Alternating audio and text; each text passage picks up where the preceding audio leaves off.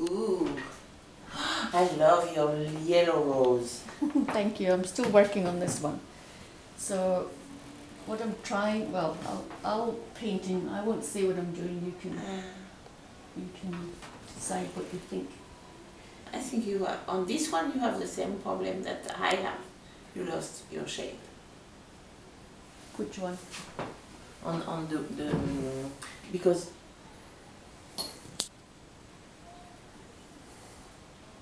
okay, what I see is here is okay. hmm You lost those,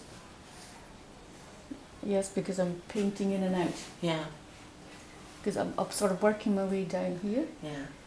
and what I'm doing is I like very much the yellow one. painting it in The- background Yeah, so that I can come I and like it. so I can come and fix Yeah, this I up. see, I see, So um, You know, Dave gave us um, a nice, um, put it in the sleeves. oh yes.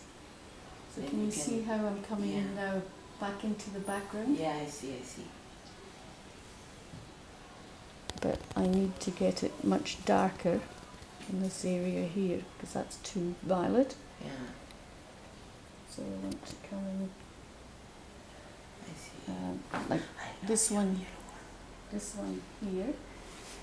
I want to come now that I've got the background in, see how I can come back in and put it back in now that I've got my surface wet.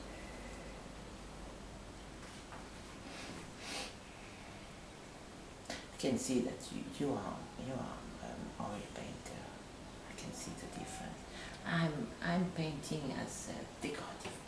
Yeah, can can you see what I'm doing here? Yeah, well, Because I see. took that wet paint in, yeah yeah which is what they talk about painting, painting in and out. in and out. So this is what I'm